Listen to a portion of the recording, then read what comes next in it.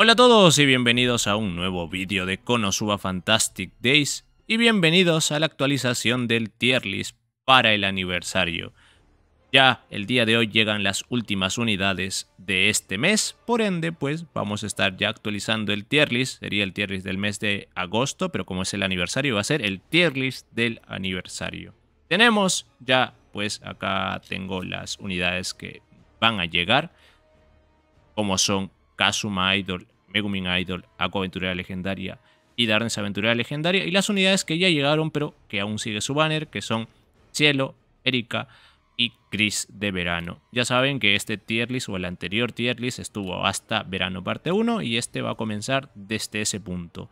A ver, va a tocar mover algunas cosas también porque con la salida de estas unidades, de las FES, digo, del aniversario, van a cambiar algunas cosas, la verdad. No va moverse tanto, pero sí, va a variar un poco. Vamos a empezar con Cielo de Verano, que es la primera unidad pues, de el Verano parte 2. Em, está bien está Cielo, no es que sea malilla, es buena de por sí, es de agua, es el problema, que en agua ya va a haber saturación de personajes buenos.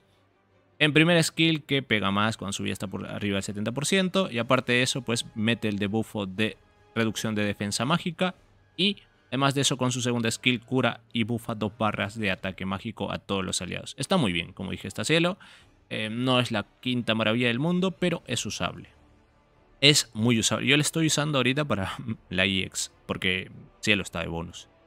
Vamos con el siguiente personaje y acá nos paramos un poquito, ya que esta Erika es de lo mejorcito que hay en el juego de momento.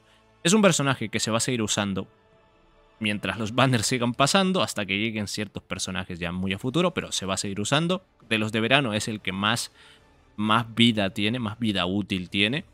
De los de esta camada de verano, que serían Chris, Cielo, pues Iris, Arue y esta Erika, es la que más va a durar. Es personajazo, personajazo. Eh, por el simple hecho de que ya sabrán, bufa dos barras speed a todos los aliados. Y aparte de eso, Erika tiene muy buenas ultimates. Es un personajazo. Está de 10 el personaje y el Splasher, pues, bonus adicional.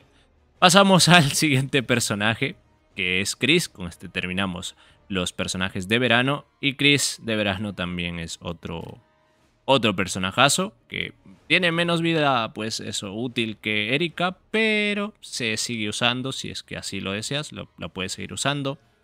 Em, lo mismo, tiene bufo de speed para ella misma y aparte de eso tiene alguna, una skill muy importante, que es que reduce el enfriamiento de las skills de, las, de los aliados. Eso es algo que ayuda mucho a tu equipo a que haga más daño y aparte de eso Chris de por sí ya es un buen personaje, no se usaba porque no hay buenas Chris, pero ahora sí se va a empezar a usar.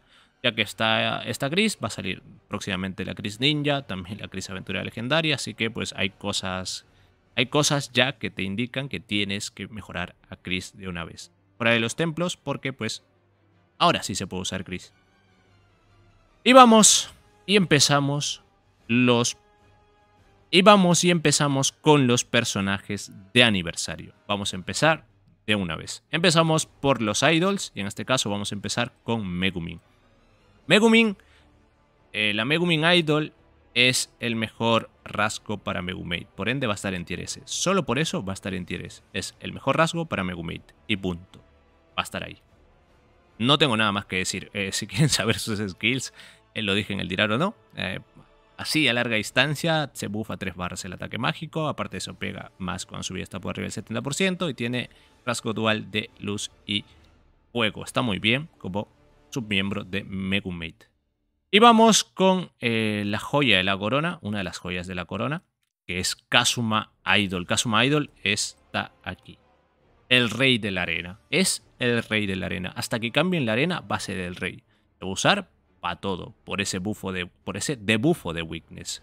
Me corrijo, debufo de weakness en dos barras y de 16 segundos. Es un bicho. Es un bicho. A ver, si estás empezando a jugar y quieres saber por quién ir, pues puedes ir a por este Kazuma, aunque más útil para una cuenta nueva es uno de los personajes que vamos a ver a continuación.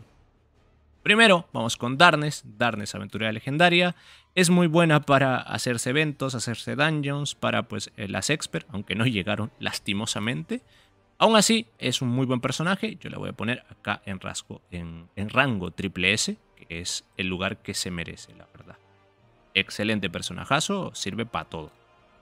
Y hablando ya, y hablando de que sirve para todo, el personaje por excelencia muy versátil y que pues se usa para todo, y si eres nuevo tienes que ir a por este personaje, es Aventurera Legendaria.